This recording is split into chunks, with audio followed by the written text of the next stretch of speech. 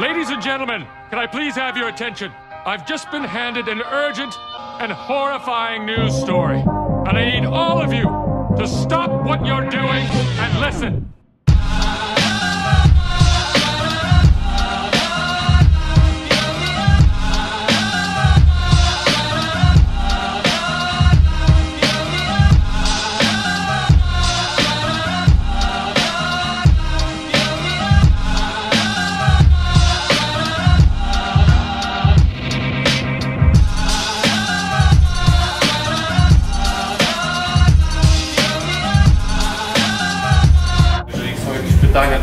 Łapka w górę. Śmiało będziecie te pytania zadawać.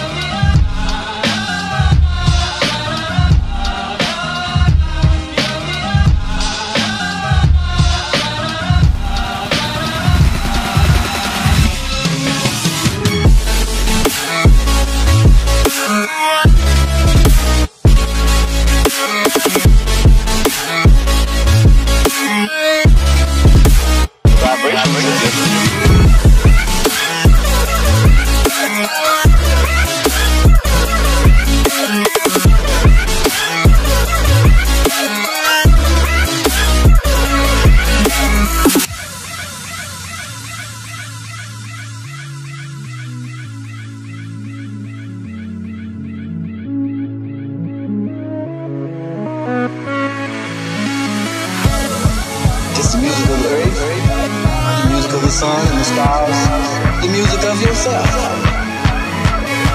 The vibrations are different. Not like mine,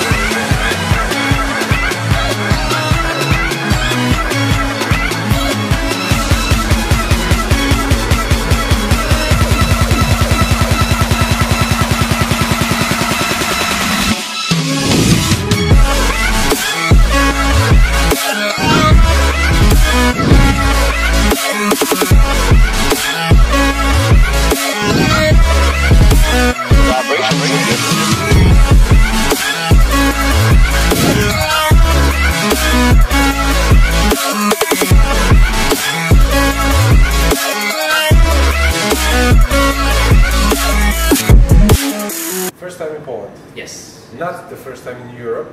No, I live in Europe. You live in Europe. Yeah. Where do you live? I live in London, England. Yeah. Um, originally from New York, but I work out of London now. Um, just pretty simple, easy for me. I'm working with Biotech USA, and also it's London is central for a lot of travel, a lot of work that I do. So it works really well for me. In this part of Europe, you've been in Russia, I think. Yes, I just came from Russia not too long ago, actually. And how do you like Poland? Uh, Poland is good. Poland is good. I wish I had more time, but I think I'll be back next year, definitely. And you'll be here in March again. I believe so. I believe we have a show. So we have an appearance in March. Yes. It's the first time. Uh, we don't have a snow today, so it's more like Yeah. Uh, But I did. like home. I did see the snow though when I was coming. I saw. I saw the snow, so I'm like, oh man. I figure it's pretty cold there. In Russia, Russia uh, was yeah very very snowy. very cold. Okay. Uh, question: You started with the American football. Yes, I played a little bit of American A football. little. Yeah, yeah, not not nothing big at all. Yeah, Mm. but it got me into training because I wanted to get bigger and stronger, and that's how I kind of accidentally got into fitness and got into training. Yeah. Do you miss uh, some part of the football, like the move itself, or the explosiveness of the of the football training? I think everything with American football, from what I remember, um, it's different aspects. You have the defense, you have the offense, you have the safety, special teams. Um, so it, it, you have to read the whole game. Um, but the key thing about that I loved about it is just the power and the explosiveness of it. And So um, you try to incorporate this power and the explosiveness in your fitness workouts right now? Yeah, yeah, and there's a lot of things that I do that you explode and do a lot of stuff. stu- Um, you do you do a lot of explosive movement with, so it, it works very well with what I do. I mean, even things to like the, the power movement or the compound movement, like you say, the squats, the Yeah. deadlift. You know, it's it, it's a key vital um, component of that. Uh, do you think that the movements with the great acceleration, the great, great force output, is giving you the physique that you've got? That you're nicely shredded, you're uh, full, you're in shape all year round? Do you think that with static movements only or I, I, isolation I think I think with um, trying to get the best balanced physique, as I like to call it, I don't like using the word perfect. I like the word balance. I think it comes down to program design. That's one. Um, get a good program that works for you. So yeah, a little bit of everything. I always tell people is good. You want a little bit of strength in there, obviously. Um, you want some variational movements in there. That's key. Um, stuff that's going to help you in terms of definition, and that's why I do a lot of high reps. So with my kind of program, I tend to get a little bit of everything in there. I'll pyramid up. For example, if I'm doing chest, I pyramid up to maybe 60 kg um, um, presses on dumbbells, and then I come back down. You know, going up is building strength, obviously, and coming back down is doing some drop sets. time, time Yeah. on the tension and then working Correct. on metabolic stress. Exactly. So I try to get a little bit of everything there where I'm sculpting, but I'm also I also want power. I also want strength. That's why I push myself to the max.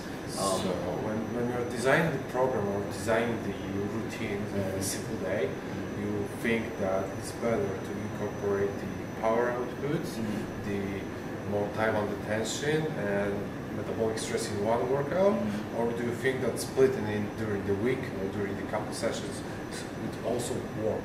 So I've got the, let's say, chest routine, Mhm. split it into three days, Mhm. mixed maybe with a small group on the Mhm. back. So one day I'm hitting hard, uh, a lot of a lot of uh, weight, Mhm. uh, great volume, low reps. The other day I'm coming doing the same muscle groups, but more time and attention, more hypertrophy, more bodybuilding work. Mhm. And the last day you're just pumping up drop sets, uh, Yeah. doing the Volume, high, high, high, high volume. Um, that's a good question. That question actually really depends on what your goals are, Yep. uh, who that person is, what they're looking to achieve. Um, if they're if, if, if strength and and a combination of everything is what they're looking to achieve, yeah, they could train that way. If they're looking to compete and just pure isolation, then it can change it up and isolate it one week at a time. So I really think that depends on the person. But having that said, for me anyway, I prefer to isolate it and train it and not do it back to back to back. Um, just because in terms of growth and for bodybuilding, for what I do, that doesn't work. But if it's more athleticism, like say for example, if I was a football player, then yeah, that would probably work because I need that. You know what I mean?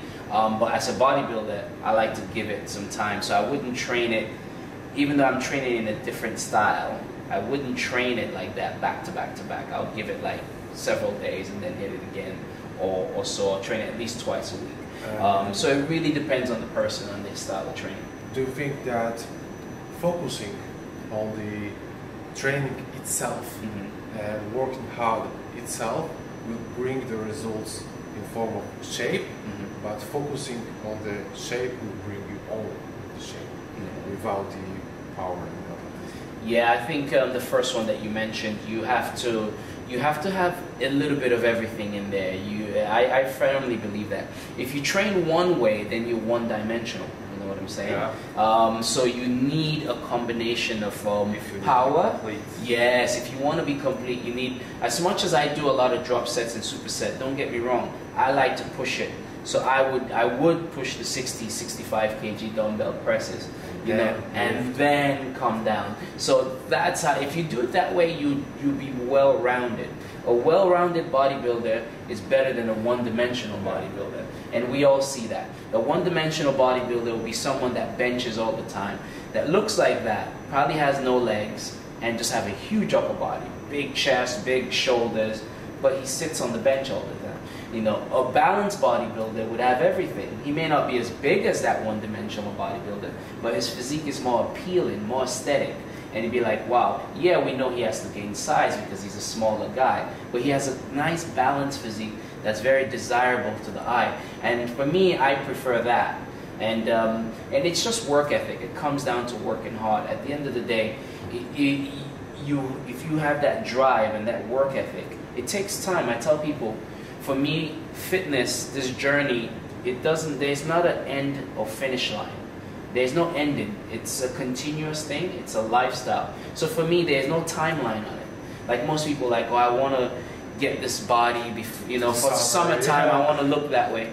I never had that. Because once you have that, yesterday on Instagram, you want the summer body year Yeah. round because you've got Yes. the body year round. that people ask me, so why, why, why do you stay conditioned all year round, or why you? Because, because that's what That's I do. There's no I live timeline. There's no. body. I don't get conditioned and then I stop, and then I take I a break am. for six weeks. I am. No, if it's a lifestyle, it's what you do all the time. So I am what I am because I have passion in it, and because I do it 365 days a year or whatever, year around, and and that's it. So yeah, there's not a, really an off season for me, you know. So I just do it all the time. The moment you have a timeline on there or an expiry date, then once you get there, your motivation is over. Yeah. Your passion, your drive is over.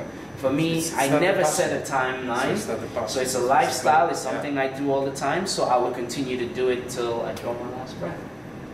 Thank you. Thank you, bro.